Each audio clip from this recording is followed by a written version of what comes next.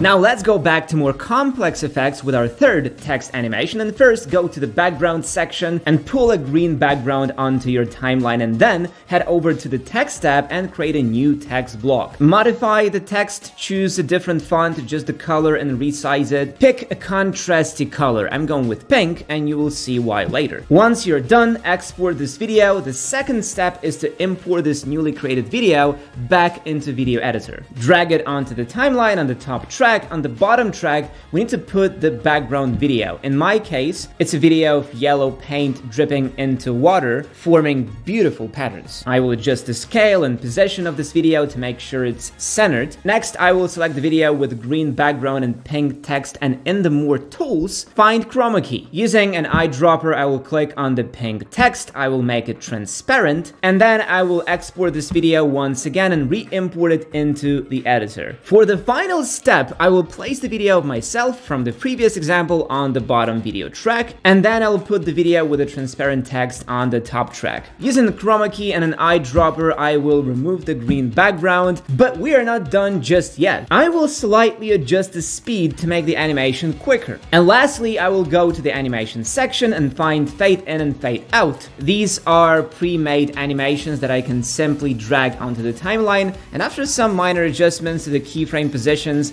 I I ended up with a text animation that looks like this. What do you think?